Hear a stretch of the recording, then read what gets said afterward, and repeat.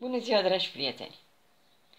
Cum ați văzut, există niște discuții foarte intense pe internet care este mai sănătos, laptele praf sau laptele obișnuit de fermă.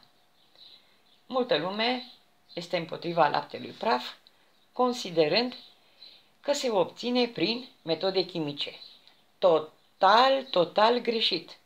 Laptele praf se produce printr-un procedeu termic 100%. Inițial, laptele obișnuit este fiert până la un anumit punct și se evaporă o anumită cantitate de apă. Apoi, acest lapte concentrat este pulverizat într-o cameră termică, unde numai cu ajutorul aerului fierbinte se elimină restul de cantitate de apă și se obține acest lapte praf, produs 100% sănătos, fără niciun fel de microbi și care este un produs concentrat.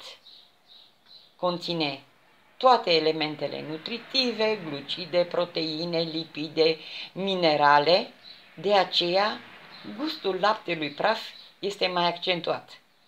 Pe lângă faptul că este extraordinar de sănătos, fără microbi, laptele praf poate fi păstrat un timp mai îndelugat. Laptele proaspăt, numai două-trei zile, pentru că apoi bacteriile intervin și din laptele proaspăt pe care îl cunoașteți devine iaurt. Datorită procedeului termic 100%, acest lapte praf este recomandat atât copiilor cât și adulților. Și cum bine știți, există foarte multe tipuri de lapte praf care sunt recomandate chiar bebelușilor.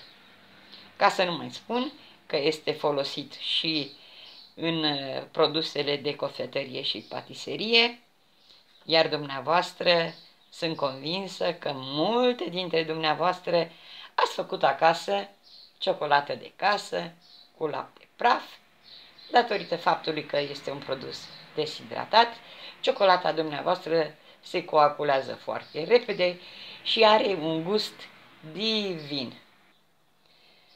Cum ați văzut, laptele pre, uh, praf este preparat, este obținut numai și numai prin procedeu termic, este sănătos 100%, nu s-a intervenit asupra lui chimic sub nicio formă, și fie că alege să, prepara, să beți un pahar de lapte proaspăt sau un pahar de lapte preparat din lapte praf, sunteți în siguranță 100%. Eu acum o să servesc un mic dejun a la bunica, cum îl servea când eram eu mică. Un pahar de lapte cald, o felie de pâine cu dulceață sau cu gem, ce aveți, suficientă energie pentru a începe ziua în forță. Iar mai târziu, din laptele praf, voi prepara și eu o ciocolată de casă. Pentru că nu e așa, viața e mai frumoasă când ai un dulce în casă. Să aveți o zi bună, doamnelor și domnilor, vă urez multă sănătate și o duminică plăcută. Să ne reîntâlnim sănătoși la următorul clip.